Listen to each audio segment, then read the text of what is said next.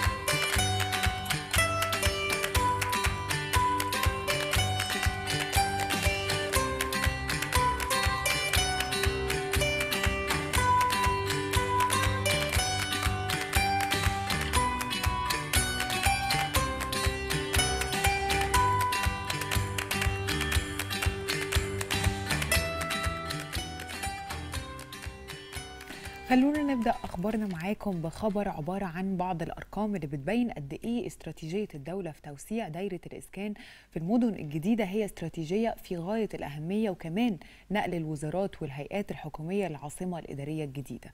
الخبر عبارة عن تقرير صادر من محافظة القاهرة وفق تقرير الجهاز المركزي للتعبئة العامة والإحصاء اللي قال إن إجمالي عدد السكان التقديري في القاهرة تجاوز 10 ملايين و200 ألف نسمة وإن المنطقة الشرقية الشرقية في القاهرة هي الأعلى من حيث نسبة السكان الموجودة بحوالي 39% من إجمالي عدد السكان. وقال التقرير كمان أن المدن الجديدة في نطاق محافظة القاهرة بس بلغ عدد السكان فيها 4% من نسبة سكان القاهرة يعني حوالي 400 ألف مواطن نقلوا حياتهم للمدن الجديدة. طبعا التقرير اتكلم عن الحالة التعليمية والاجتماعية وعن نسب الذكور والإناث وغيرها من الإحصائيات والأرقام لكن خلينا نتوقف عند الرقم وقد إيه المنطقة الصغيرة دي فيها تكدس رهيب من الناس كل ده هيتغير مع زيادة المدن الجديدة ومع اكتمال العاصمة الإدارية الجديدة طبعا. وهينهي طبعا مشاكل كتير اتسبب فيها التكدس زي الزحام وقلة الموارد وقلة فرص العمل وغيرها كتير. تفاصيل أكتر عن المدن الجديدة واستراتيجية الدولة في التوسع فيها وبناء مجتمعات سكنية جديدة متكاملة هنعرفها من ضيفنا على الهاتف دكتور أسامة السعيد أستاذ الاقتصاد وعميد عميد كلية التجارة جامعة بني سويف. سابقا صباح الورد على حضرتك. صباح الخير اسمي هانم وصباح الخير على كل أهلنا في مصر جميعا وكل سنة وهم جميعا بخير أهلا بحضرتك. عايزين في البداية نعرف من وجهة نظر حضرتك وبعد التقرير اللي كنا بنتكلم عنه دلوقتي أهمية المدن الجديدة في عملية التنمية الاقتصادية والاجتماعية في مصر وطبعا تقليل التكدس الرهيب اللي بنشوفه والزحام وغيرهم. هي الحقيقة المدن الجديدة بالفكر اللي أقيمت دي أصبحت تحولت من وسيلة لحل مشكلة مزمنة إلى مجتمع حضاري يأمل العديد من فئات الشعب إلى الإقامة الحضارية دي. فلو جينا شفنا المدن الجديدة مش بتتعمل بنفس الفكر بتاع مدن الجيل الثاني أو الثالث لا مدن الجيل الرابع والخامس وعشان كده بتلاقي المجتمع الحضاري الجديد صحيح النسبة أنا متفق مع حضرتك أنها نسبة منخفضة 4% ولكن مين هم ال 4%؟ هم دول اللي استشعروا قيمة الجهود اللي عملتها الدولة في هذه الأماكن الحضارية الجديدة.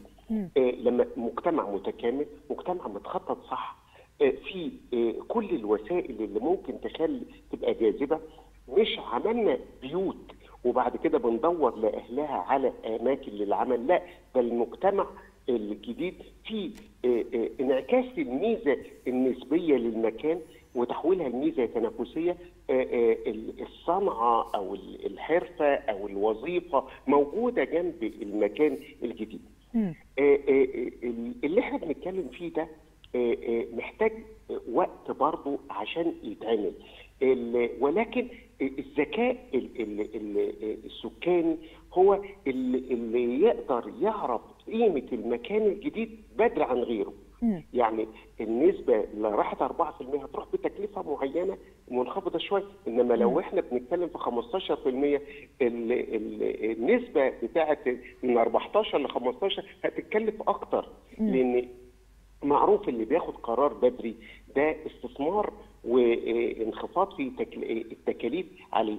إنما اللي بيروح متأخر بيدفع تكلفه أكبر. دي نقطة. النقطة الثانية اللي هي إن إحنا في الأماكن الجديدة دي بننشئ فيها فرد متعلم صح بيمارس سلوكياته بشركة بطريقة سليمة. يعني في مكان بيركن فيه العربية بتاعته. مش بيتخانق مع جاره على مكان للركنه ابنه بي بيلعب في ملعب صحي مش بيلعب في الشارع. آه مدرسة آه آه زي مدارس STEM والمدارس الجديدة والمدارس اليابانية. دي فيها طريقة تعليم طب أنا هاخد من كلام حضرتك يعني لو إحنا هنتكلم بالتوازي عن الاهتمام بتوفير الخدمات والبنية التحتية في المدن دي وإزاي ده بيشجع المواطنين إن هم ينقلوا ليها. يعني زي ما حضرتك كنت لسه بتدي أمثلة يعني عايزين نكمل ونتكلم أكتر في النقطة دي. إحنا بنتكلم في, في نفس النطاق. إحنا لما بنيجي نتكلم ما بنتكلمش عن القاهرة بس. آه ممكن القاهرة تكون درجة حدة المشكلة زايدة فيها أكبر. بس إحنا لما نشوف مصر كلها بتزيد حوالي 2.2 مليون كأن دولة بتضاف إلينا كل سنة. آه دي مشكلة. المشكلة دي على ربوع مصر كلها. لو ضفنا إليها ضيوفنا من الدول العربية اللي عندهم مشاكل ونسبتهم ونسبة الزيادة فيهم هنلاقي لا إحنا عايزين تفكير بشكل مختلف تماما. ولما نيجي نقول القاهرة آه القاهرة كانت نقطة جذب لكل لكل البلدان اللي حواليها واللي فيها المصانع فيها فرص العمل الكلام ده. لكن لما نقول نشوف هيئة تنميه الصعيد دي بتخفض نسبة اللي بيعيد إقامتهم من الصعيد للقاهرة فبيتوطنوا ناحية المشروعات القومية الكبرى. فأنت بتتدخلي في إعادة توزيع السكان بطريقة تخليهم يلاقوا فرص عمل مغرية في أماكن تختارها الدولة زي المناطق الصناعية والمجمعات الصناعية الجديدة، المدن الجديدة، وسائل الترفيه، وسائل التعلم، وسائل التنزه، كل ده هو المجتمع الحضاري أو العمراني اللي ممكن يكون جاذب لفئات الشعب كلها. الأسرة كلها مش رب الأسرة بس هو اللي بيروح ال- المكان ده. أكيد. طب خلينا نتكلم أخيرا عن نقل الوزارات والهيئات الحكومية للعاصمه الإدارية الجديدة. ده هيخفف برضو إزاي من التكدس؟ آه، بص حضرتك آه، اللي اللي آه، اللي يشوف العاصمة الإدارية ويشوف ال- الحي ال- الحكومي والحي الأعمال يحس إن إحنا وول ستريت. حاجة معمولة صح. ب- بتعملي منطقة في صورة مدينة أو عاصمة إدارية آه، من مدن الجيل الخامس آه، في منطقة حيوية بيتحقق فيها آه، متطلبات الأمن القومي آه، الوزارات بتنقل عشان تكون هي ما هو الوزير لما يروح المنطقة دي وكيل الوزارة لما يروح المنطقة دي أي حاجة هتكون آه، محتاجة تعديل توضيب آه، مد آه، هتتعمل. آه، فه- فيبقى من السهل إن الأسر بعد كده تنتقل سواء أسر اللي بيشتغلوا في الوزارات دي أو المناطق ال- ال- ال- الجهات الحكومية اللي هت- هتبقى نمرة اثنين في عملية النقل. زائد مجموعة الخدمات بقى يعني بنلاقي مثلا مدينة طبية هناك. يبقى معمولة بطريقة جديدة بفكر جديد. آه، ال- ال- التخطيط ال- ال- الحضاري إن يكون في آه، نهر أخضر مريح للعين. ولو ما كانتش آه، آه، معمولة بطريقة آه، مختلفة تماما ما كناش هنلاقي إن سعر المتر اللي هو بسين بقى ب 10000 سين. فالنقلة دي هي نقلة إيه؟ نقلة فكر نقلة رؤية جديدة مش بس من القيادة السياسية من الأحلام اللي كانت بتتحط ويبقى في صعوبة على تنفيذها على أرض الواقع. لما وفرت الإرادة السياسية للتطبيق ال- ال- الجيد دي هتخلي آه، مصر إن شاء الله خلال السنوات اللي, جاية آه، منطقة جذب بتعكسها المؤشرات يا فندم. يعني لو إحنا مش مش- يعني مش شغالين بطريقة سليمة وسليمة جدا ما كانتش مصر تيجي نمرة واحد حقيقي. من ناحية آه، جذب الاستثمارات في المشروعات آه، متفوقين على دول منافسة بدأت في المجالات دي من عدة سنوات. فأنا آه، متفائل جدا إن شاء الله إن ال- ال- القاهرة سواء الحضارية بعد ما ما تخف الضغط فيها أو القاهرة الجديدة أو الامتدادات في العاصمة لا دي هت- هتبقى منظومة جميلة جدا سواء أكيد. في الجانب الحضاري أو التاريخي أو التقليدي اللي كان موجود أو الجديد. كلنا متأكدين من ده مش بس متفائلين وبنشكر حضرتك شكرا جزيلا. دكتور أسامة السعيد عميد كلية التجارة جامعة بني سويف سابقا نشكرك شكرا جزيلا. خلينا نروح دلوقتي نطمن مع بعض على درجات الحرارة المتوقعة النهاردة ونرجع لكم مرة تانية.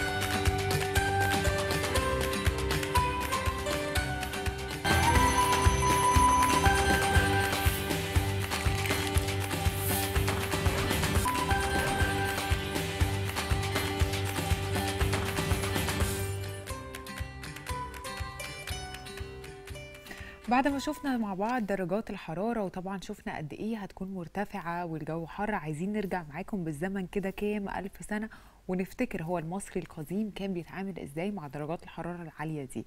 زمان ولا كان فيه تكييف ولا مراوح ولا أي تكنولوجي اللي هرب من الحر طبعا. كمان المعابد والبيوت كان معظمها في الصحراء والأماكن الحارة بطبيعة الحال طبعا. حتى الصور اللي بنشوفها دايما المصريين قدماء بنشوفهم لابسين ملابس خفيفة لونها أبيض. هل ده ليه علاقة بموضوع الحر ولا الموضوع مختلف؟ خلونا نعرف مع بعض أو مع حضراتكم إجابة من ضيفنا على الهاتف المؤرخ والأثري دكتور بسام الشماع. صباح الورد على حضرتك. صباح الورد عليكم وخلينا نقول لكل مشاهدينا هيرو نافر بالهيروغليفي. تحية بقى هيروغليفية بما إن إحنا نتكلم على مصر القديمة. هيرو يعني نهار أو يوم ونافر يعني جميل يعني جمال اليوم أو يوم جميل. هيرو نافر يا فندم. طيب كلمنا حضرتك عن ملابس قدماء المصريين في الصيف. اولا أشكركم جدا على إن أنتم فتحتوا الموضوع ده دلوقتي لأن انتشر في الآونة الأخيرة على الفيسبوك والإنترنت إن المصري القديم ما بيظهرش على جدران المقابر والمعابد إلا وهو يرتدي فقط بالنسبة للرجال يرتدي فقط النقبة أو الجيبة الصغنونة ديت اللي معمولة من القماش الخفيف وبالتالي هو طول الوقت في حالة صيف وهو طول الوقت في حالة حر وهو طول الوقت في حالة ارتداء ملابس خفيفة. هذا الكلام خطأ جدا جدا جدا. يوجد مناظر للمصريين القدماء وهم لابسين شتوي. وهديكم مثال لهذا. يوجد مقبرة في البر الغربي من الأقصر والمقبرة دي لرجل اسمه المنتمي إلى الغرب. هو اسمه كده اسم الترجمة بتاعت اسمه كده.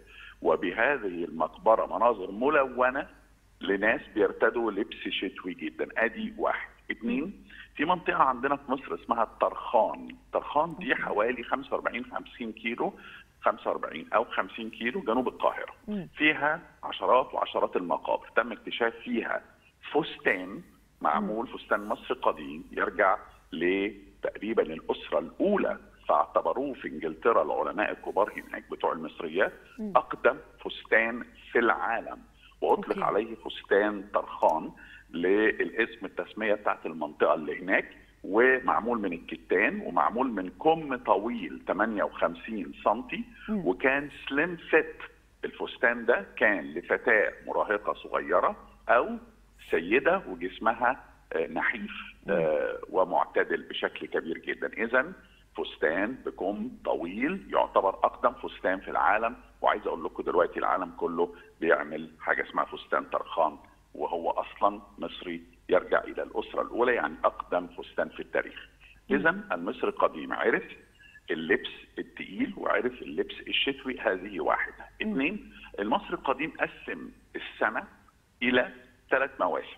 آه موسم الآخر اللي هو الفيضان موسم البرت اللي هو بتبدأ المحاصيل بتبزغ فيها كده المحاصيل تبدأ تظهر موسم شمو اللي هو الحصاد وبالتالي عرف إن في وقت ساقع وفي وقت برد وفي وقت هتبدأ المحاصيل تبزغ فيه وإدى لكل موسم أربع آه، شهور يبقى في ثلاث مواسم في السنة يعني 12 شهر مش أربع مواسم زينا. أدي نمرة اثنين نمرة ثلاثة أقول لكم بقى على نص طريف جدا لحكاية الحر ده. في بردية عندنا مشهورة في مصر القديمة اسمها بردية ويستكار. برديه ويستكار دي بتبتدي بإن الملك ملك سنفرو هذا الملك العظيم الملك الطيب وهو بالمناسبة أبو الملك خوفو. الملك سنفرو هو مؤسس الأسرة الرابعة يعني بنتكلم من 4500 سنة أو أكثر والملك سنفرو هو صاحب أول هرم شكل هرمي صحيح في التاريخ. يعني أول شكل هرم زي ما أنتم كنتوا عارفين الهرم مش خوفو لا بابا سنفرو في منطقة. دهشور الملك ده البرديه دي بتقول لنا النص أن كان الملك سنفرو يطوف في القصر كان عمال يلف في القصر كده في مختلف حجرات قصره الملكي كما يقول النص. بحثا عن إيه بقى؟ بحثا عن مكان رطب أي مسلي. يبقى بالنسبة لسنفرو من 4000 سنة ونص تقريبا كان المكان المسلي اللي عايز يقعد فيه في القصر بتاعه هو المكان الرطب اللي آه. هو اللي فيه هواء حلو أو يقول لك يا عم إيه رطب على صدرك اشرب حاجة رطب على نفسك رط اقعد في حتة رطبة اقعد. كده في وسط الحر. فإذا المصري القديم عرف السقعه وعرف البرد وعرف الشتاء وعرف اللبس الثقيل وفي نفس الوقت برضه عرف الحر. طب تعامل مع الحر إزاي؟ تعامل معاه مع أكثر من طريقة. نمرة واحد كان عنده مراوح. المصري القديم برع في صناعة المراوح المعمولة من كل حاجة لدرجة إنك لو رحتوا المتحف المصري في التحرير في ثوبه الجديد بدعو كل الناس إنها تروحوا بقت تحفة في سيناريو العرض الجديد اللي عملوه. وطلعت الدور الفوقاني ورحت بجانب آثار توت عنخ امون اللي إحنا بنسميه توت عنخ امون هتلاقي فيه حتة مروحة عبقرية ترجع إلى ال 1300 قبل الميلاد معمولة من ريش النعام. تخيلي؟ ريش النعام. تقولي لي إيه ده يا رسام؟ ريش نعام. من 3000 بس كان حد لازم يقف بيها ويهوي بيها ولا لا لا لا دي ريشه دي ريشة يد. آه آه. دي ريشة يد زي اللي أنتوا بتمسكوها كده بنشوفها في أفلام زمان كده يمسكوها كده ودلوقتي في بعض السيدات ما زال بيستخدمها. فدي ريشة يد معمولة من ريش النعام. فده كانت دي كانت للملك. ممكن يستخدمها بإيده أو للملكة. لأن برضه عليها اسم الملك لكن دي ممكن تكون برضه للملكة في نفس الوقت. okay. ف... وطبعا فكرة إن ريش النعام يعيش 3300 سنة دي دي عبقرية نبقى نتكلم عليها في مداخلة أخرى. أكيد طبعا. عرف المراوح وعرف الفكرة. وبالمناسبه كان في title أو لقب هام جدا في البلاط الملكي اسمه حامل الريشة.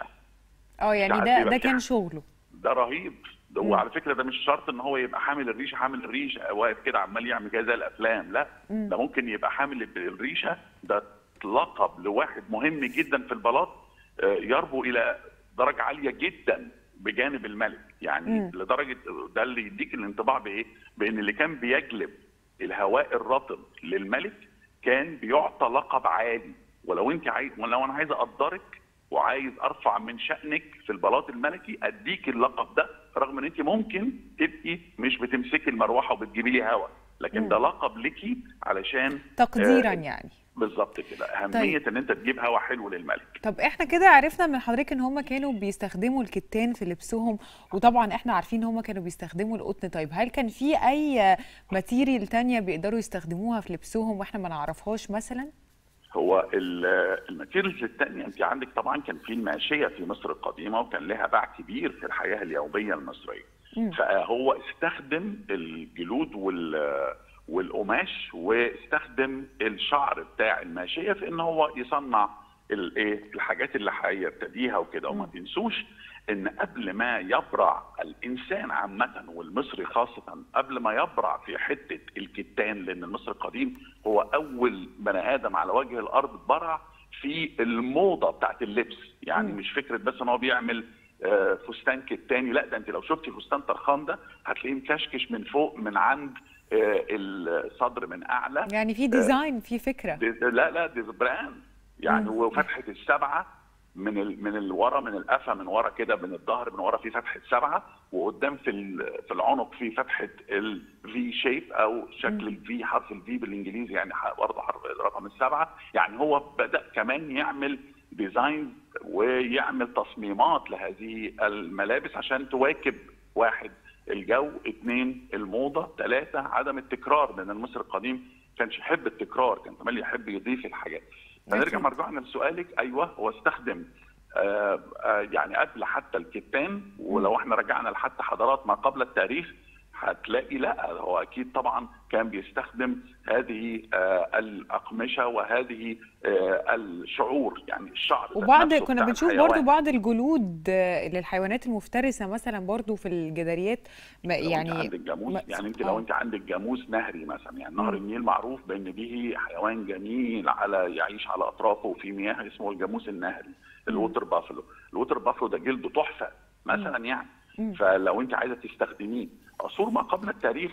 آه ممكن تكون ما عملتش ال- القماش اللي هو العالي قوي لكن ده في اكتشافات تدل على إن المصري القديم حتى قبل توحيد القطرين يعني حتى قبل نعر مر وقبل الهيروغليفي وقبل الأهرامات وقبل المسلات آه، كان بيحافظ على نفسه وبيحافظ على عيلته بإن كان الارديه أو فكرة التغطية كانت آه، بالنسبة له مهمة جدا عشان كده لما نزل أكيد. من زمان خالص من آلاف السنين لما تروحي 100 كيلو غرب أبو سمبل هتلاقي في اكتشاف حصل القرن اللي فات وحقيقة الاكتشاف ده لسه مش واخد حقه قوي رغم إن إحنا اتكلمنا. عليه أكتر من مرة في التلفزيونات عندكم آه. لكن برضه أنا عايز عالميا ال- الاكتشاف دوت أخذ حقه بشكل كبير جدا. حتة اسمها نبتة بلايا. نبتة بلايا دي 100 كيلو غرب أبو سنبل لقوا دايرة قطرها 4 متر. دايرة معمولة من الأحجار الصغيرة. وبها رص للأحجار بشكل معين. لما درسوا الرص ده لقوا إن الرص دوت بيوصل إلى مكان شروق الشمس في السماء. أول إحنا يوم إحنا بندعو حضرتك الحقيقة. ان حضرتك تنورنا هنا في الاستوديو ونكمل كلامنا باستفاضة في فقرة طويلة كده نتكلم فيها و... ولأنه كلام يعني في الحقيقة في الموضوع ده ممكن ياخد مننا مداخلات ومداخلات وحلقات. فإحنا الحقيقة بنشكر حضرتك شكرا جزيلا المؤرخ والأثري الدكتور بسام الشماع. وإن شاء الله هنستضيف حضرتك هنا ونتكلم بشكل مفصل أكتر. طيب خلينا نروح لموضوع تاني وهو إنه وإحنا في عز الحر برضه والموجة الحاره الصعبة اللي بنستخبى منها دي في موسم سياحي شغال حاليا وفي حالة انتعاش وهو موسم السياحة العلاجية في واحد سيوة. وهو الموسم اللي بيبدأ من بداية شهر يوليو وبيستمر لحد نص شهر سبتمبر وهو الموسم اللي بيتم فيه العلاج بالدفن في الرمال. وكمان السباحه في عيون المياه الكبريتية وهي بتساعد طبعا على علاج بعض أمراض العظام وكمان الأمراض الجلدية. المتخصصين بيقولوا بيقولوا إن حمامات الرمل دي ليها دور في علاج أمراض زي روماتيزم وروماتويد وآلام المفاصل وتنشيط الدورة الدموية وأمراض الرطوبة وإن السباحة طبعا في عيون المياه الكبريتية بتساعد في علاج عدد من الأمراض الجلدية وعشان كده بيجي المنطقة دي عدد كبير جدا من الزوار سواء في مصر أو من بره مصر. خلينا نعرف تفاصيل أكتر عن الدفن في الرمال والمياه الكبريتية من ضيفتنا أو ضيفنا على الهاتف الأستاذ مجدي صادق عضو غرفة شركات السياحة. صباح الورد على حضرتك. صباح الياسمين وصباحك ياسمين على اسم بنتي ياسمين والله. صباح صباح الورد على حضرتك وعليها طبعا.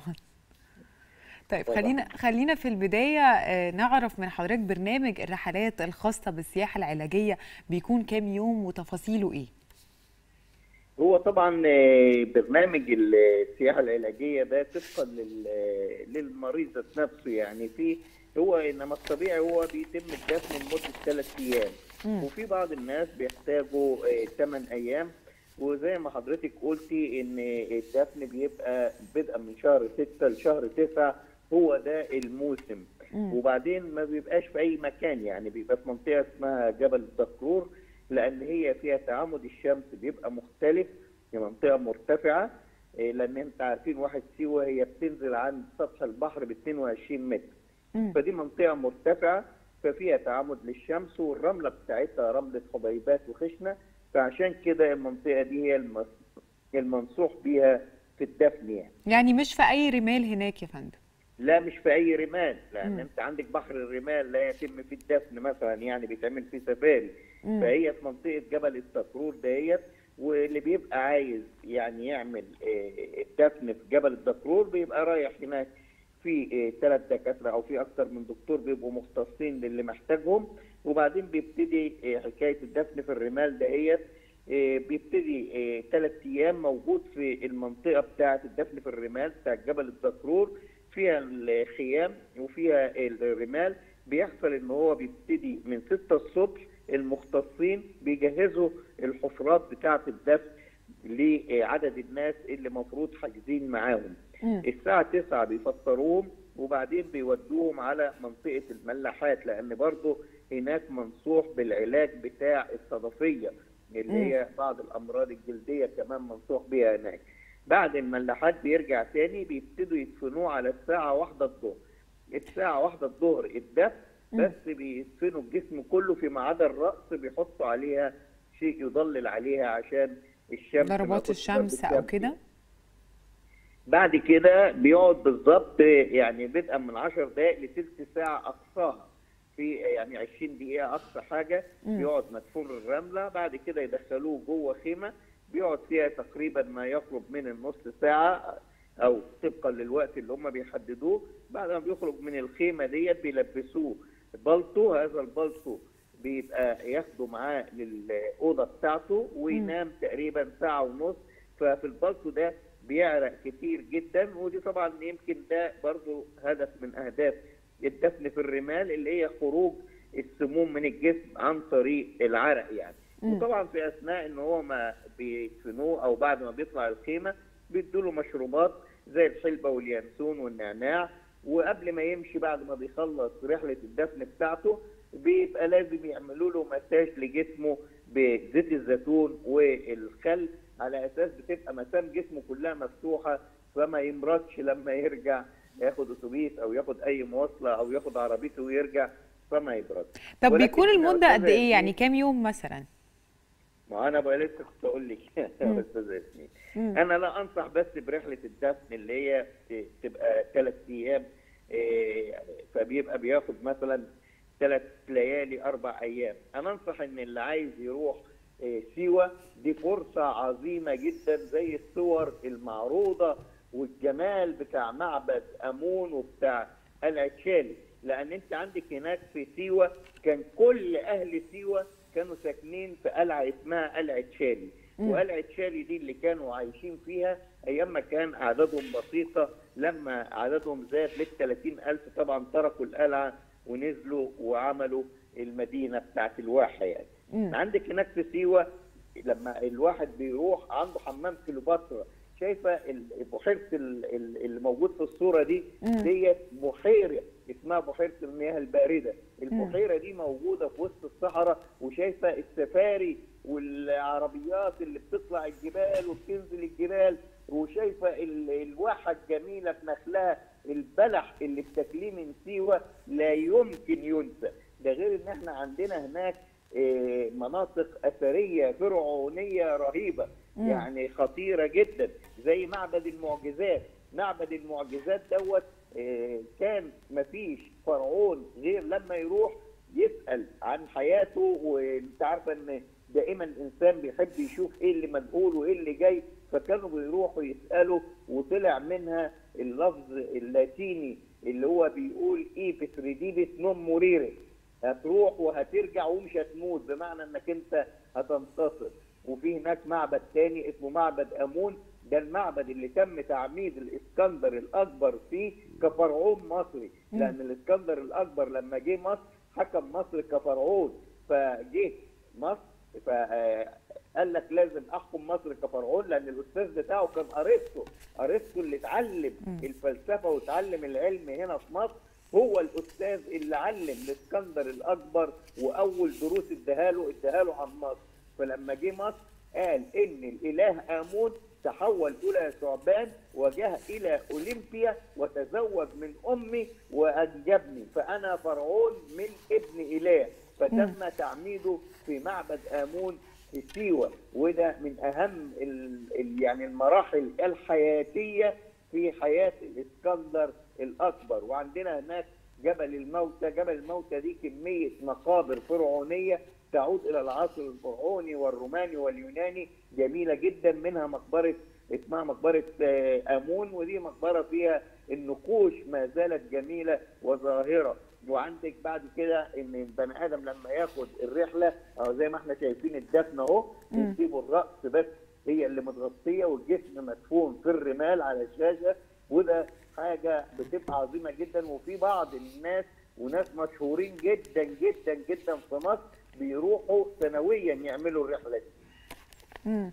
طب إحنا آه، بنشكر حضرتك طبعا شكرا جزيلا على المعلومات القيمة دي عن و- وعن الواحات وطبعا عرفنا من حضرتك إنه ال- الرحلة مش بس طبعا بتقتصر على آه، العلاج ولكن في معابد كتير قوي هناك نقدر نروح نزورها وفي حاجات طبيعية كتيرة قوي نقدر نستمتع فيها. إحنا بنشكر حضرتك طبعا شكرا جزيلا آه، الأستاذ آه، مجدي صادق عضو غرفة شركة شركات السياحة. بنشكرك شكرا جزيلا. خلينا نروح معاكم دلوقتي آه، نشوف حفل افتتاح مهرجان الصيف الدولي للفنون في دورته العاشرة واللي بتنظمه مكتبة الإسكندرية خلال فترة من 3 أغسطس ولحد 1 سبتمبر اللي جاي بحضور نخبة كبيرة من الفنانين والأدباء والشعراء من مصر وخارجها. الحفل طبعا كان فيه حضور لفرقة مسار إجباري على المسرح المكشوف وكمان هيشارك فيه الموسيقار عمر خيرت والموسيقار هاني شنودة والفنان علي الحجار والفنان هشام عباس والفنانة دينا الوديدي وغيرهم من الفنانين والفرق كمان. تعالوا نروح نشوف مع بعض الافتتاح ونرجع معاكم بأول فقراتنا الحوارية. استنونا.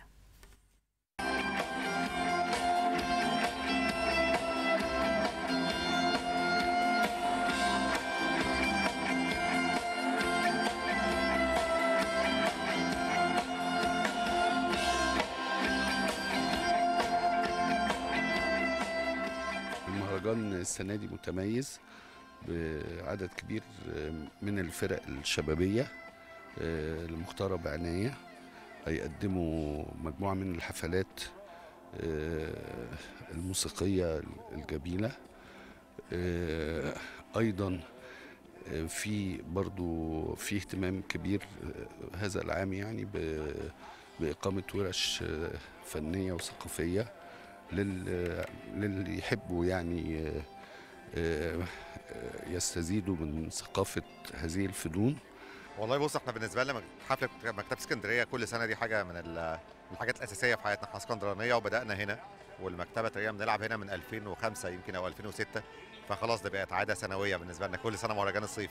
السنة دي عندنا كذا أغنية جديدة. في تقريبا أربع أو خمس أغاني جداد ما اتلعبوش قبل كده. فمجهزينهم لحفلة المكتبة مخصوص. هو في أغنية اسمها آسف دي جديدة خالص ما عملناهاش أي مكان. في أغنية لسه منزلينها اسمها شكرا.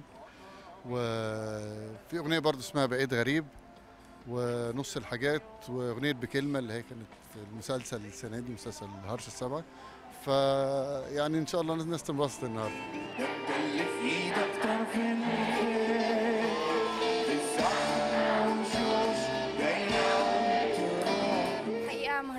الصيفي اللي بيتعمل في مكتبة اسكندرية هو مهرجان متميز جدا بيضم مجموعة كبيرة من المغنيين أو الفنانين المتميزين.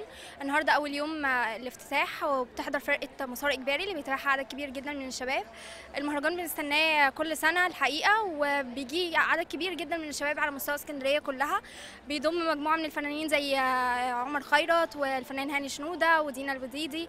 وإحنا بنستمتع الحقيقة بحضورنا المهرجان والله حضرتك أنا مهرجان يعني ما شاء الله ترتيب وتنظيم وجايبين باقة من الفنانين ما شاء الله عليهم يعني وكمان تنظيم بره دخول وكمان جوه الستيج وكده. كل حاجة متنظمة كويسة النهارده أول يوم زي ما حضرتك شايف عارف طبعا آه، مسار إجباري. تقريبا مفيش حد من سننا ما بيسمعهوش وأثر فينا جدا يعني زي ما أنت عارف يعني أغانيهم بتحسنا قوي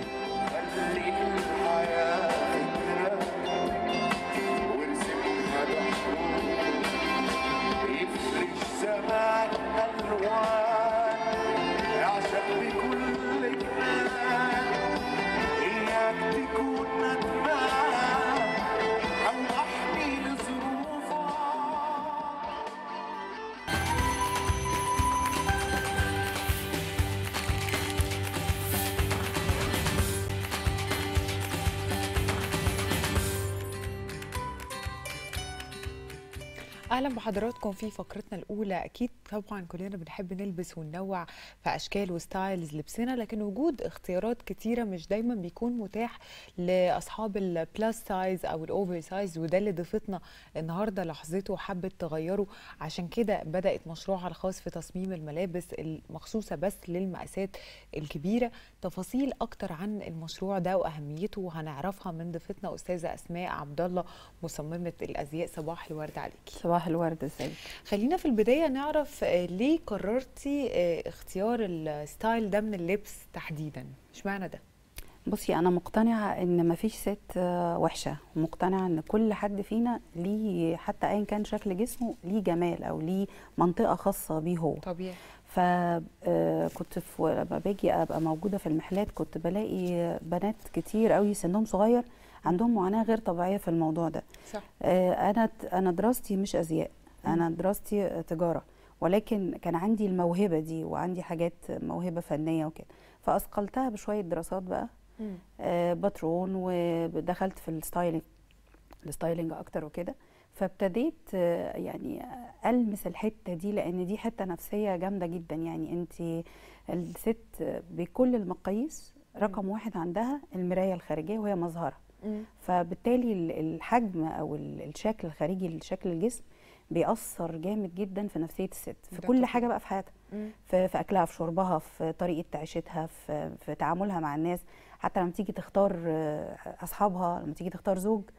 أحيانا مظهرها هو اللي بيفرض عليها تختار أو تختار تاخد إيه؟ المتاح ليها صحيح فالجزئية دي آه، أنا لمساها جامد جدا بلس إن كمان تقدري تقولي آه، ودي نسبة مش قليلة مم. أكتر من 60 أو 70% من السيدات أو البنات الممتلئات القوام zero آه، ثقة بالنفس بس عارفة يعني lately أو مؤخرا بقينا نشوف إنه لأ يعني في بنات كتيرة قوي عندها ثقة في النفس هي شايفة نفسها curvy شايفة نفسها plus size لايق عليها وحابة نفسها في كل أشكالها ودي حاجة خدي بالك من حاجة مم. curvy حاجة وال plus size حاجة تانية خالص. ما ينفعش نقول ال curvy مع ال plus size لا لا لا ال curvy شيء. وال plus size شيء تاني مم. curvy دي زي الجسم زي ما الكتاب ما قال عشان تبقي فاهمة آه آه آه يعني الرفع مش زي ما الكتاب ما قال ما هو أنا. عايزة أقول لك إن ال plus size دلوقتي هم حابين يقولوا على نفسهم curvy علشان يدوا لنفسهم يعني خدعوهم فقالوا لا إحنا نواجه الحقيقة ونتعامل معاها ونجملها مم. لا أنا مش curvy لا أنا plus size أنا مليانة مم. بس يعني أشتغل إزاي على نفسي مم. يعني هم بيضحكوا عليهم البسي واسع عشان ما يبينش والعكس البسي ضيق عشان ما يخليكيش مليانة. لا يا جماعة غلط. في. دي نسب. كل حد بيبقى شكل ال ال ال ال النسب بتاعت الجسم مختلفه مش كل حد مش كل نفس نوع التخن يمشي معاه كل ال ال ال ال الستايلات أو الانسامبلات اللي انت بتبقي عاملاها. لا الدنيا بتختلف. كل حد ليه مقايسات معينة في جسمه ومواصفات معينة في الباترون أو في الموديل اللي بتبقى لابساه عشان يبقى شكلها بالشكل ده وتتقبل. آه، دي الفكرة. طب انت مع انه يعني دلوقتي بنشوف آه، بنات كتيرة أنا مش فارق معايا الناس آه، يعني شايفة لبسي إزاي أو شايفة شكلي إيه أنا عاجبني ده هلبسه لايق على جسمي مش لايق أنا عاجبني وهلبسه.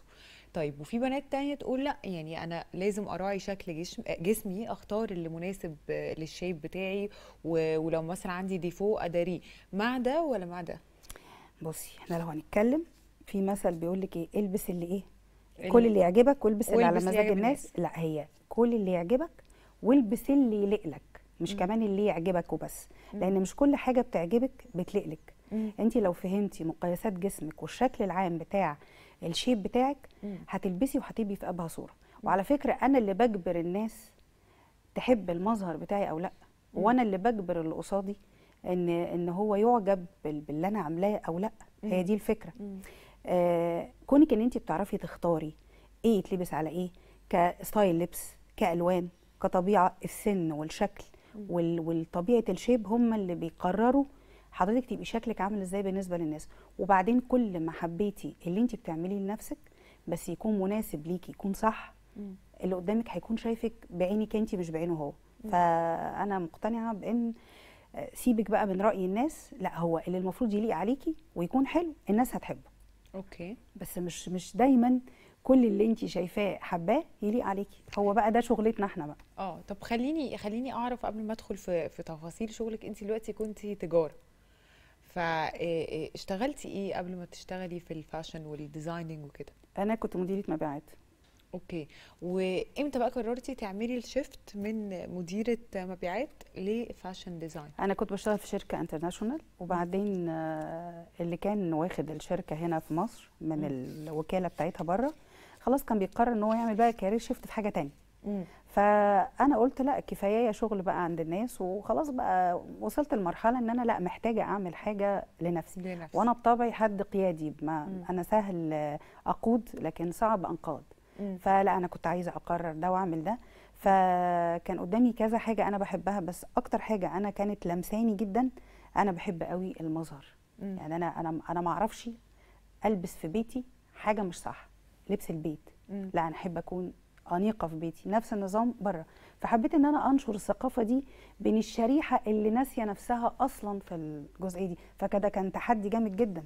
طب البداية بقى كانت إزاي؟ يعني قررتي هتبدأي النهارده إزاي؟ بعد ما خدتي الكورسز طبعا واتعلمتي الموضوع. في مثل زمان قالوه ابدأ كبير تفضل طول عمرك كبير. أنا عمري ما بدأت صغير.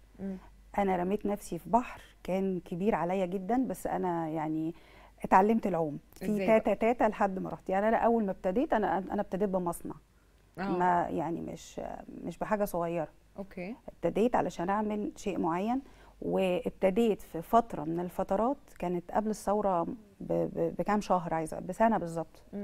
فابتديت في فترة آه تقدري تقولي كانت ال- مفيش حاجة اسمها big size. أو لو كانت موجودة كان ناس معينة في مصر هي اللي كانت بتعملها يتعدوا على صوابع الإيد الأولى ما يكملوهاش. وكانت الفكرة في حد ذاتها مش مستساغة كان كله لابس عبايات. كله شقة. دي حاجة حاجة تانية ما كانش برضو في حتة ال ال الاهتمام بال بالمواد الخام قوي كان ال- البلد متجهة لحتة الاستيراد في كل شيء okay. كان التركي والفرنساوي والإنجليزي والحاجات دي كلها مم. فأنا دخلت كده ورميت نفسي وقلت لا أنا أنا بحب التحديات ف طب قولي لي في ناس بترسم designs وبتروح ل fashion designer يعني المفروض إن هو fashion designer ويعني ينفذ لها التصميم ده. انت بتشتغلي إزاي يعني انت ب... انت اللي لازم تصممي الموديل ولا حد بيجي يقول لك أنا عايز لا أنا ما بشتغلش لحد بعينه لأن إحنا لو اشتغلنا بحد بعينه ده حاجة بقى couture بقى بتبقى شريحة تانية و level تاني آه انت ودنيا. تانية عاملة زي brand آه أنا عاملة brand بس أنا بشتغل بكله يعني أنا بشكل على مانيكان عادي برسم عادي بقص. قماش عادي يعني أنا بقدر أشتغل في كله okay. فأنا بعمل الفكرة أنا دلوقتي بيبقى قدامي كذا نوع من أنواع الأجسام في في في نوع التخن نفسه مم. أنا بحب أشتغل على كله مم. بتبقى جاية لي فكرة بعمل حاجة معينة أنا حابة ألبس تخن تفاحة حاجة معينة مثلا whatever جينز. بعمل حاجة جوه الباترون تناسب دي وتناسب كل الناس عشان نقدر كله آه، نلبسها بس هي بتبقى معمولة أصلا عشان الشريحة الجسمية دي أو ال shape ده. وهكذا.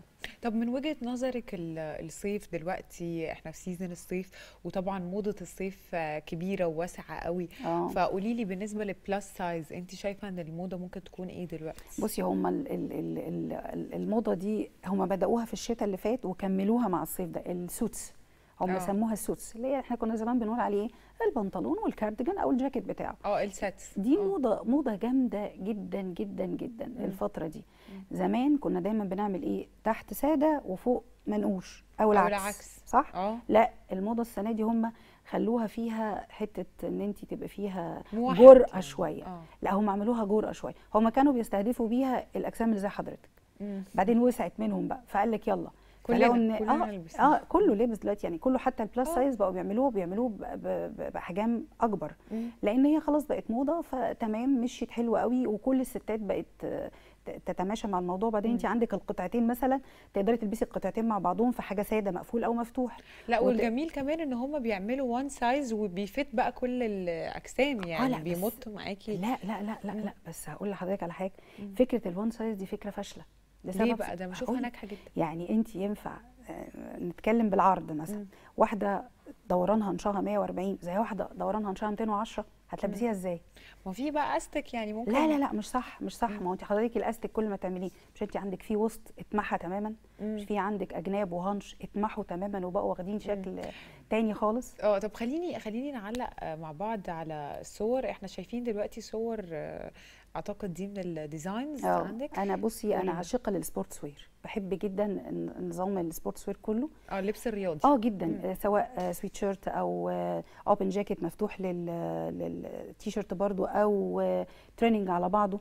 ودي حاجة مش موجودة في مصر كتير لل plus size آه. أنا بحاول بقدر الإمكان إن أنا أجرأهم في الموضوع ده. مم. بحفزهم بقى. يعني هي حتى ممكن لما تنزل تبقى في لبس رياضي تقدر تنزل الجيم آه. يعني انت لو نزلتي الجيم لما بتنزلي اولا ثلاث أرباع الستات ال plus size في الجيم كانوا بيروحوا ياخدوا الترنجات بتاعت جوازاتهم يا إما ينزلوا يشتروا حاجات من الرجالي وتلبسها وتنزل واحدة تانية واقفة slim كده. بت بت بتلعب على ال ال ال الأجهزة أو حاجة. بص لها مم. عمالة تبص تقول لك يا ربي لو أنا أعرف ألاقي حاجة زي كده مهم. وال sweatpants والحاجات دي فأنا خليت يبقى حتى عندها يعني نفس إنها تنزل تعمل ده إحنا إحنا شايفين دلوقتي outfit تاني قولي لنا برضو بحب قوي أنا ادمج برضو ال sweatpants أو الحاجة الرياضية بحب احطها مع حاجة كلاسيك أو حاجة كاجوال بتدي شكل حلو زي اللي أنا انت لابساها ده. عاملة كده دلوقتي. آه زي اللي أنا لابساها ده النهارده عامله. mix آه يعني بعمل بين mix أنا بحب قوي ال mixات دي تبقي آه. مختلفة. بصي المليانة مختلفة. مم. كل الناس ماشية رفيعة وهي وحدها كده لوحدها اللي ماشية بقى شكل معين. طب ما تيجي نجملك. طب ما تيجي نخليكي مختلفة بالشياكه مش مختلفة عشان فيكي عيب الناس شايفاه. يعني أنا بحاول بقدر الإمكان أنا أجمل العيب إلى إن انت بقى تغيريه يعني. أنا برضو الصحة تاج على رؤوس الأصحاء عشان محدش يجي يطلع لك إيه دي لا بت ما هو دي طبعا مش عيب في الشكل آه. يعني هو عيب للصحة مش أكتر آه يعني طبعا آه طب قولي لي طيب ال ال ده ده open dress. برضو الفترة اللي فاتت دي طلعت الموضة بتاعت إن انت تقدري تلبسي القطعة بأكتر من شكل. فانت ممكن تلبسيها مفتوحة مقفولة يعني ده لو اتقفل انت تقدري بشكل معين تقلبيه عباية. للناس اللي هم بيحبوا العبايات أو الكفتانات برضو ممكن يبقى كفتان في ده هي تديكي نفس ده تديكي نفس الفكرة تمام؟ أو ممكن تلبسيها انت انت ممكن طرحة أو أكسسوار أو سابو أو شنطة تقلب لك ال ensemble لحاجة. ممكن تخلي حاجة simple خالص وسادة خالص لو زودتي عليها شوية اكسسوارز وحاجات وبتاع و glitter وبتاع قلبت سواريه مم. ممكن تلبسيها الصبح حاجة simple وما ما فيهاش أي مشكلة خالص مع شنطة كاجوال مع آه، سبريم أو حاجة بسيطة لبستيها الصبح بقت كاجوال ممكن تقلبيها آه، sports نفس النظام بالنسبة لحاجة زي كده. انت تقدري تلبسيه ده تقدري تلبسيه open مفتوح بالشكل ده وتخليه كلاسيك شكله لطيف جدا. وتقدري تلبسيه بعد الظهر في أي مناسبة برضو لو غيرتي كسابو أو صندل أو حاجة. فأنا بحب قوي إن القطعة اللي عندك دي تبقى ملاكة عفريتة الدولاب بتاعك. آه. حطيها في كل حتة. آه. أنا يتعمل بحب قوي. تدفعي فلوس مم. تستفيدي بيها من الأول للآخر. مم. صحيح صحيح. طب لو معانا صور برضو تانية؟ آه شايفين دلوقتي outfit. الجنسات. مم. عندنا مشكلة كبيرة جدا في الجنسات ما كانوش بيعملوا جنسات لل big size نهائي تكلفة الجينز عالي ولازم تشتغلي في جنس معين لأن بتبقى معظم الناس ال big size بتبقى عندهم مشكلة في الحرارة بتاعة الجسم مم. فبتبقي محتاجة إن انت تشتغلي في خامة معينة مم. اللي بيها انها ما تضايقهاش وتقدري تطوعيها أنا الجينز ده بالنسبة لي زي ال- العيش كده في بيوت المصريين بحبه جدا حاجة لازم تكون بحب أشتغل أساسية. عليه جدا بحب أشتغل عليه قوي sublimation بشتغل عليه رسم بشتغل عليه بالألماظ بشتغل. عليه paillette. بعمل كل الأشكال والحاجات اللي تخليها ماشية. هي الفرق بينها وبين حاجة كل الستات فرق الحجم بتاعها لكن مجمل هي لأ شيك وأنيقة. وعندها الموديلات بتاعتها معمولة بباترونات مختلفة تماما. يعني ال- ال- ال suits اللي حضرتك لابساه ده أنا ما ده ما ينفعش الواحدة مليانة. إحنا ممكن بنعمل حاجات في الباترون تخليه يمشي معاها. زي مثلا ناخد مثال بنطلون شالستون بنطلون شالستون معمول عشان رفيعين مش عشان المليانين نهائي. ليه بس؟ بيليق على فكرة على المليانين بيليق على البلاس سايز ما هو بصي تاني مش كل ال plus size. إحنا انت بتتكلمي برضو ما زلتي مع فكرة أنا ال curvy أنا ما قلتش curvy أنا قلت plus size ما هو ال plus size بقى تعالي لما نشوف كل ما المنطقة السفلية آه، زادت ما ينفعش معاها الشالستون مم. نهائي. لأن انت حضرتك هو المفروض بيجي عند الركبة بيضيق ويرجع يفتح تاني تحت. مم. طب انت هتخبي ده كله إزاي؟ دي. بقى لعبتي أنا. okay. فاحنا بنعمل ده يعني إحنا بنحاول بقدر الامكان نخليهم ان هم يحسوا ان هم آه يعني زيها زي اي ست. هي فيها اختلاف بسيط بس مش عايزين الاختلاف يروح لمنطقة العيب.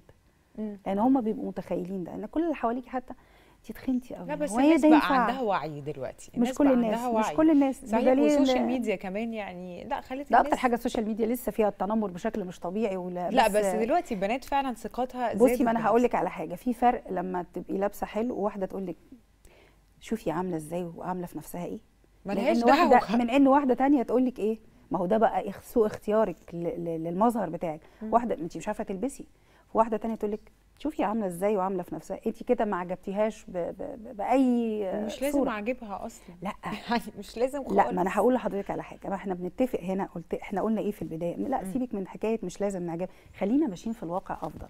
النهارده انت مظهرك هو المراية بتاعتك اللي بتعكس شكلك في عين الناس. مم. فلو انت ما اخترتيش تاني بنرجع تاني لحتة إن أنا اللي انت صعب بختار صح. تعجبي كل الناس. يعني لا لا صعب. مش مطالب مني ان أعجب كل الناس بس أنا مطالب مني أبهرك. أنا خارجة من بيتي أبهرك. أنا كست دي دي طب دي التركيبة طب وليه ما أقولش إن أنا عاجبني شكلي كده؟ يعني تمام. مش فارق معايا. وابهرك. لا لا لا. وابهرك كمان. لا لازم يفرق. معايا. لازم يفرق معايا نظرتك ليا على فكرة. مم. أنا أحب أشوف اللمعة الجميلة دي لما تشوفيني. مم. مش انك تنتقديني. طب إحنا معانا صورة تانية. قولي لنا كده عملتي إيه هنا؟ آه، دي من ضمن الحاجات اللي فيها في في دلوقتي حاجة في التطريزات اسمها كسر ألماظ. بيجيبوا الإزاز ويكسروه كده ويعملوه بخامات معينة ويلونوه أوكي. جنجهات ألوانات بتدي شكل حلو جدا وبتقيم القطعة بطريقة رهيبة. بس مش بتمشي على كل أنواع ال- القماش لأن هي بتبقى آه، محطوطة على سيليكون. فإحنا بنشتغلها دي بتبقى ال handmade بتاعها وانت بتحطيها على السيليكون نفسه okay وبعدين انت بقى بترتبيها أو بت بتظبطيها كشكل. دي مش بتتحط على كل ال- الاقمشه بس انت عندك الاقمشه أنواع كتير أكيد. برضو البنطلون الـ Aladdin ده موضة بقاله كذا سنة مم. بنحاول بقدر الإمكان إن إحنا نلعب فيه بأشكال برضو مختلفة انت عارفة المصريات بتبقى الجزء السفلي دايما عندهم بيبقى فيه أو الشرق عموما مم. بيبقى فيه مشاكل هرمونات ولادة والكلام مم. ده بنحاول نخفي الحاجات دي كلها إن إحنا بس عارفة بيبقى شكل لطيف وزي ما قلت لك برضو أنا شغلتي ليكي إنك تبقي مبهرة في, في, في عين اللي قصادك برضه مصممة تبهري طبعا لازم تبقى برضه. مصممة. طبعا طبعا طب علقي لي على الاوتفيت ده آه، ده برضو من الحاجات ال- الرياضية. اللي كلنا وإحنا صغيرين مين فينا ما بيتفرجش على الكرتون أكيد كلنا اتفرجنا لحد دلوقتي أنا واحدة من الناس أنا ببقى بحب أتفرج على الكرتون آه فطبعا يعني الجميل بتاعنا كلنا دونالد داك وميكي ماوس والكلام ده مم. فأنا بحاول بقدر الإمكان إن أنا أحط لهم الحاجات دي عارفة الحاجات دي لما بتيجي تلبسيها بتديكي سن أصغر بقى. بتبقي في عين اللي قدامك. يا أختي قومي إيه الحلاوة دي؟ عارفة انت فأنا عاملة حاجة زي كده وده دي أقمشة جديدة جدا على الصيف. okay. آه، أقمشة داخلة منها ال- ال- القطيفة بس الظهر بتاعها قطن يعني الخارجي بتاعها ما تقدريش تقلبيه على جسمك. يسخن لكن هو الظهر بتاعها قطن فده برضو من ال technicals الجديدة اللي دخلت في طفرة الخامات. فأنا عملت حاجة زي كده شكلها لطيف وفي نفس الوقت ensemble مداري حاجات كتيرة جدا برغم إن الأرضية بتاعته بيضة. بس. هتلاقي الرسومات اللي فيها كلها أسود. فمدارية كل الحاجات اللي انت مش حابة إن الناس تشوفها. طب انت مع إنه الألوان الغامقة يعني ان ال oversize لازم يلبسوا ألوان غامقة علشان تلم الجسم لا. أو تقلل ولا بيلبسوا ألوان مبهجه لا لا لا خالص؟ بصي مفيش حاجة اسمها أنا لازم ألبس أسود أو ألبس كحلي أو يعني هو أنا مسمية الألوان الغامقة بتاعتهم طول عمرهم اسمها التابوت ال- التابوت الأسود. اللي هي الألوان الثابتة بتاعتهم الأسود والكحلي والرمادي والبتنجاني. وكمان الفيراني الألوان دي خلاص عفى عليها الزمن ولا بس هي انت ممكن تعملي mixات بين الفاتح والغامق تبع مناطق جسمك. مم. يعني كل مثلا ما المنطقة زي مثلا ناخد تخن التفاح لأن ده من يعني من أكتر أنواع ال- التخن اللي بتعبنا إحنا نفسنا في في ال designs. اللي هو بيبقى الجزء اللي فوق كله ممتلئ قدام ورا. دي ممكن ندخل ال- الغامق فيها أكتر بشكل معين ونفتح من تحت أو حاجة. فده بيدي آه، حجم أقل. بس مش شرط إن انت تلبسي غامق كله أو فاتح كله دايما اعملي mix. بس يعني في ناس بتبقى حابة إنها لأ أنا حابة إن أنا ألبس غوامق وأفتح بقى. هنا بقى دي خلاص اسطمبة تفكير ما بتقدريش تعدليهم. مم. فممكن إن انت حضرتك بقى إيه تدخلي الأكسسوار الطرحة حاجة في رجلك بتاع كده.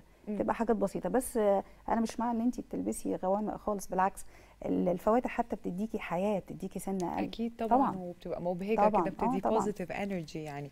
أنا بشكر حضرتك شكرا جزيلا. أسماء عبد الله مصممه أزياء ال plus size بشكرك شكرا شكرا جزيلا ليكي ميرسي مشاهدينا خلصت فقرتنا الأولى فاصل صغير ونرجع لكم بتاني فقراتنا. استنونا.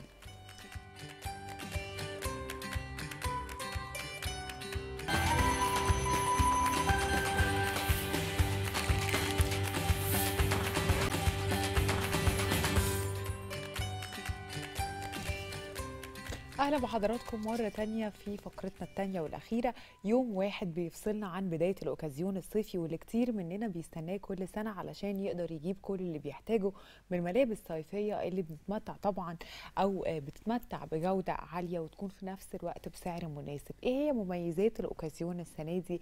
وإزاي أقدر أستفيد منه من خصوماته وفي نفس الوقت أضمن حقي؟ كل ده وأكتر هنعرفه من ضيفتنا اللي منورانا الأستاذة سماح هيكل عضو مجلس إدارة الغرفة التجارية في أو عن شعبة الملابس الجاهزة. صباح الورد على حضرتك. صباح نورانا أهلا بيكي أهلا بيكي آه طبعا الأوكازيون هيبتدي يوم سبعة. عايزين أيوة. نعرف بقى هيستمر لحد قد إيه. أوكي. هو الأوكازيون هيبدأ من 7 8 اللي هو يوم الاثنين بكرة إن شاء الله. إن شاء الله. هي- هيقعد لمدة شهر ولكل محل المفروض أسبوعين. وبعد كده بعد الشهر ما ينتهي بيبقى فيه فترة تصفيات. مم. يعني إحنا معانا آه، شهر الأوكازيون هيبقى مستمر. معانا إن شاء الله أوكي طيب في حالة وجود بقى إقبال على الأوكازيون هل ممكن ساعتها بقى يعني الناس تشت يعني تستغل ده مثلا وتغلي الأسعار لا مفيش كده خالص وما. ينفعش يحصل ده لأن في رقابة مم. الرقابة من خلال وزارة التموين والتجارة الداخلية الجهاز الرقابي اللي موجود آه، بيروح يتابع ويراقب كل المحلات المشاركة في الأوكازيون يشوف العروض اللي عاملينها عروض حقيقية ولا لأ هل الأسعار دي آه، وهمية أو عاملين أي تخفيضات بشكل مبالغ فيه. وما تكونش حقيقية ولا لأ لأن كل كل محل علشان يشارك في الأوكازيون لازم بيكون بياناته كلها كاملة في وزارة التموين والتجارة الداخلية. أي حد من أصحاب المحلات عايز أو الشركات عايز يشارك في الأوكازيون لازم يتقدم باستمارة بيملاها لأقرب مديرية تابعه لوزارة التموين التابعه لدايرته وبياخد الموافقة والترخيص أو التصريح وهو واقف ما بياخدش منه وقت فبالتالي بتبقى بياناته كلها موجودة. وبعدين الرقابة بتبقى طول الوقت من أول يوم في الأوكازيون لآخر يوم في الأوكازيون. عظيم. كل شوية في متابعة عشان يشوفوا لو في مشاكل حد حاطط عروض وهمية وليها شروط كمان. مم. يعني مش أي حد ممكن يقول أنا داخل أوكازيون كده مع نفسه ويعمل تخفيضات مع نفسه. لازم بيبقى الموضوع عن طريق آه، جهات جهات رسمية. من خلال الوزارة إن شاء الله. طيب ولو حد مثلا لاحظ إن في حاجة وهمية أو لاحظ إن في. بائع مثلا بيتصرف أي تصرف مش كويس يعني يقدر يبلغ عنه إزاي آه، طبعا جهاز حماية المستهلك. يقدر من خلال الخط الساخن ومن خلال الجهاز الرقابي في وزارة التموين والتجارة الداخلية بيتصل وبيقدم شكوى بس أيوة. أهم حاجة يبقى عنده برضو لو عنده مشكلة في منتج عايز يرجعه مش عارف أو حصل فيه مشكلة. لازم يحتفظ بفاتورة الشراء لأن آه. هي دي اللي بتضمن له حقه ده شرط أساسي. طبعا. طيب في حالة بقى إن في برضو إقبال شديد آه، هل نقدر نطول نمد مدة الأوكازيون؟ لا. ما آه، ينفعش. يعني هو شهر ويتلحقوا يا لا هو الموضوع مش كده. يعني إحنا دلوقتي في نهاية season. نهاية season الصيف. المنتجات الشتوية آه، تم تصنيعها خلاص وتم إنتاجها وموجودة في المخازن. المفروض بيتم التعاقد عليها بالنسبة للملابس الحريمي والرجالي في شهر 9 و10 وبالنسبة للأطفال شهر 8 اللي إحنا فيه بيتم التعاقد على آه، الشغل بتاع الشتاء ل 2024 إن شاء الله. إن شاء الله. بالنسبة للأطفال ده كجملة. لكن الملابس بتنزل الشتوية بتنزل في نوفمبر. فبالتالي إحنا الفترة دي بتبقى فترة استعداد للموسم الشتوي فما فيش مجال. هو لما يبقى فيه فترة أوكازيون مدتها شهر وبعد كده بيبقى فيه شهر تاني تصفيات يعني من 7 8 ل 7 9 يبقى شهر آه الأوكازيون وبعدين من 7 9 ل 7 10 يبقى شهر تاني وبعد كده خلاص بينزل الشتوي. فما فيش مجال إن حد يمد هيمد يروح فين. صحيح. هو لو هينزل هينزل المنتجات الشتوية على طول. okay طب آه، نقدر نقول إن الأوكازيون موجود في القاهرة بس ولا في كل المحافظات؟ لا في كل المحافظات. أي محل في الجمهورية عايز يشارك يقدر زي ما قلت لحضرتك يتوجه لأي مديرية أو أقرب مديرية تابعة ليه ويبتدي يقدم طلب وبالتالي هو يقدر يشارك. فالأوكازيون على مستوى الجمهورية. okay. طب عدد المشاركين بيكون مثلا في range قد إيه؟ و- ويعني زي ما قلنا حضرتك لو حد حابب يشارك بيتقدم بطلب. ده لازم يكون قبل الأوكازيون بقد إيه؟ لا مش لازم قبل الأوكازيون ممكن في أثناء الأوكازيون ما هو شغال. مم. عادي أول يوم تاني يوم براحته. مم. إحنا تقريبا العدد المتوسط اللي إحنا المتوسط للمشاركة في الأوكازيون حوالي 4000 محل okay. وقابل للزيادة لأن المحلات والشركات متعطشة آه، لموضوع الأوكازيون. فأنا مم. شايفة من خلال الواقع اللي أنا شايفاه إن المحلات كتير بدأت آه، الأوكازيون قبل ميعاده الرسمي. فأنا أتوقع إن العدد ده يبقى الضعف إن شاء الله. إن شاء الله إن شاء طبعا. الله. طب عايزين نتكلم بالنسبة للبائع بقى. آه، إيه المميزات اللي ممكن هو يحس بيها لو شارك في الأوكازيون؟ يعني نقول له كده. أنت هتستفاد بكذا. المحل لما يشارك في الأوكازيون هيستفاد أول حاجة دعاية مجانية. دعاية مجانية بتتعمل من خلال كل وسائل الإعلام. آه، سواء كانت مسموعة أو مرئية أو. مقروءة. بيتقال إن في أوكازيون واللي هيشترك في الأوكازيون أو هيشارك في الأوكازيون لازم بيحط علامة يقول إن هو مشارك بيحط آه، يا إما كلمة أوكازيون على الإزاز. أو آه، يحط sale مم. فبالتالي وطبعا حضرتك عارفة آه، بتبقى باللون الأحمر فكل المحلات بتتزين باللون, باللون الأحمر آه فهو كده كده بالنسبة له عمل لنفسه دعاية مجانية مم. إن المح... الناس بتجيله مجرد إن هو حاطط لافتة إن هو مشارك في الأوكازيون مم. فكل الناس ما بتخشش غير المحلات دي في الوقت ده. لأن كل واحد عايز ياخد ال- العروض المقدمة وعايز ياخد تخفيضات كويسة فبالتالي مش هيتوجه لأي محل مش حاطط عروض. دي أول نقطة. أوكي. النقطة التانية بخصوص ال- الموضوع ده صاحب المحل لو هو عايز يشارك لازم يحط السعر قبل وبعد. يعني ده شرط على فكرة إن هو يكون حاطط السعر قبل التخفيض والسعر بعد التخفيض. مم. يبقى مكتوب على الكارت الصنف اللي موجود على القطعة. و- وده شرط من الشروط المهمة جدا. طب حضرتك لو توضحي لنا كده الشروط عامة بتبقى إيه الشروط بالنسبة لل- لصاحب المحل اللي عايز آه. يشارك أول حاجة لازم يبقى شغله آه، موثق وشغله قانوني لازم يبقى عنده بطاقة ضريبية وسجل تجاري. لأن هو هيتوجه لوزارة التموين والتجارة الداخلية فلازم هيتقدم بورق مظبوط. دي أول حاجة طب آه، شرط من الشروط إن هو يحط الأسعار قبل وبعد مم. ده ده مهم جدا آه ولو ما عملش كده يبقى هو مخالف وبيتعرض للغرامة. آه لازم يطلع فاتورة مم. لازم يلتزم بالشروط أوكي. وطبعا إن هو يقدم عروض حقيقية مش عروض وه... عروض وهمية لأنه في حالة ان يقدم أي عرض وهمي ويخالف الشروط الم... الموضوعة. آه للقصة دي ممكن آه، يدفع غرامة توصل لحد 2 مليون جنيه يا دي آه. غرامة كبيرة, جدا كبيرة آه بتوصل أوكي. 2 مليون جنيه وفي حبس كمان على كمان. حسب العقوبة مم. بس خلينا نتكلم في الغرامة الغرامة ممكن توصل ل 2 مليون طب آه، يعني إيه إيه الغرامة 2 مليون بتطبق على إيه لما يخالف إيه بالظبط أو لما يعمل هي إيه ليها؟ تفاصيل كتير يعني ممكن مم. واحد يقول أنا آه، مشارك لكن هو مش مشارك مم. ممكن واحد يحط ز- أسعار عالية جدا. ولكن آه، ده مش سعر القطعة الحقيقي بعيد عن الأوكازيون وهو برده مش من مصلحته إن هو يعمل حاجة زي كده. okay. لأن المخزون عنده هيبقى كتير وهو كده داخل على season شتوي فمحتاج إن هو يعمل سيولة من خلال إن هو يبيع المنتجات اللي موجودة عنده عشان يقدر يشتري منتجات شتوية جديدة. وبعدين معظم المحلات بتبقى بتتعامل مع مصانع كتير متشابهة فما ينفعش محل يكون مشارك في الأوكازيون. آه، والتاني جنبه مشارك في الأوكازيون هو ده حاطط عرض وهمي والتاني حاطط آه، عرض حقيقي. فأنا مثلا كمستهلك لو دخلت محل محلين جنب بعض أو بلف بتفرج اشتريت من محل بيقول إن هو عامل عروض حقيقية. واشتريت قطعة عليها مثلا 50% جيت اتفرجت شوية لقيت نفس القطعة موجودة في محل تاني آه، بسعر آه، أعلى أو بسعر أقل. هضطر إن أنا ساعتها أشوف لأ ما هو لو سعر أعلى خلاص أنا كده استفدت إن ده عرض حقيقي. لو أوكي. سعر أقل يبقى هو ضحك عليا عامل فبرجع له عرض تاني. وهمي. عامل عرض وهمي. طب هو بيحدد نسبة العرض على أساس إيه؟ يعني هو بيختارها إزاي؟ على أساس المخزون. اولا الاوكازيون اختياري وليس إجباري. مم. إحنا ما بنجبرش المحلات إنها تشارك فيه. لأن أنا بتكلم في نسبة بتكلم في حوالي 4000 محل ممكن يشاركوا وأكتر كمان وإحنا عندنا المحلات في جمهورية مصر العربية أكتر من كده بكتير. فده ده اختياري هو لو عايز يشارك مش عايز براحته مم. بيحدد إزاي نسبة التخفيض كل ما المخزون عنده بيزيد وبيكتر مم. بالنسبة للمنتجات الموجودة عنده كل ما بيحط نسبة خصم مرتفعة كل ما بيبتدي يقل بيبقى نسبة التخفيضات متفاوتة ولكن بتكون أقل بكتير لكن إحنا عندنا التخفيضات معدية 70% لحد دلوقتي أوكي. خصوصا إن في محلات كتير قوي بدأت الأوكازيون قبل ميعاده الرسمي okay طيب آه، يعني هل ممكن نشوف بقى يعني ملابس صيفي بس ولا نقدر نشوف مثلا شتوي نشوف حاجات كده آه، demi لا، season يعني في ما النص؟ فيش ده صيفي. هيبقى ملابس صيفي بس والأوكازيون على الملابس الصيفي بس لأن زي ما بقول لحضرتك إن خلاص كلها شهرين أو أقل من شهرين وتبتدي بقى المحلات تنزل الموسم الجديد في المحلات مم.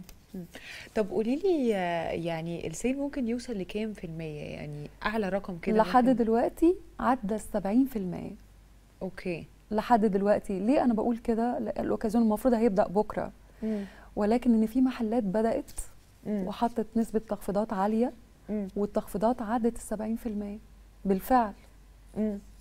okay يعني عدت 70% ده يعني رقم عالي قوي قوي وعروض حقيقية وأنا نزلت تجولت بنفسي واتفرجت وشفت ودخلت واتاكدت إنها عروض حقيقية 100% مم. والمحلات متعطشة إن الناس تروح تشتري وأنا بشجع الناس كلها طبعاً. إنها تروح تشتري اولا فرصة كويسة جدا للناس اللي ما بتشتريش طول ال season يجي يشتري في الأوكازيون. بقول لهم انزلوا اشتروا ليكم ولأولادكم اشتروا حاجات ممكن تنفعكم ال season الجاي كمان مم. ودي فرصة كويسة لأن الأسعار دي مش هتتكرر تاني. أكيد طبعا يعني هي بتيجي كده زي مرة في بالظبط ال- في ال season بالظبط. الأسعار مش قادرة أقول لحضرتك الفستان الحريمي بيبدأ من 100 جنيه. لا ده إحنا نروح بقى بالظبط كده. حقيقي بنطلون جينز ب 150 جنيه رجالي. مم. آه القميص البدلة الرجالي ب 100 جنيه. آه طب والخامات؟ في ناس لما بتسمع الأرقام دي بتخاف من الخامات نهائي خامات عالية الجودة. وزي ما بقول برضو الم- المستهلك ما يقلقش وما يخافش خالص. يروح ويتفرج وينزل ويشتري وهو هيشوف وهيقارن هيعرف إن كانت الخامات دي كويسة أو ولا لأ بس لأ هي. كلها خامات كويسة والحاجات كلها كويسة. جدا وزي ما بقولت لحضرتك إن الأسعار رخيصة جدا وفي متناول الجميع ودي فرصة يمكن فترة الركود اللي إحنا مرينا بيها بسبب الامتحانات و- والأعياد والمواطن بقى يحط الأولوية بالنسبة له المواد الغذائية والدروس الخصوصية وبعض المصاريف الخاصة بال- بالمدارس وكده. فهو بالنسبة له الملابس يعني واخدة مش واخدة حظها معاه قوي.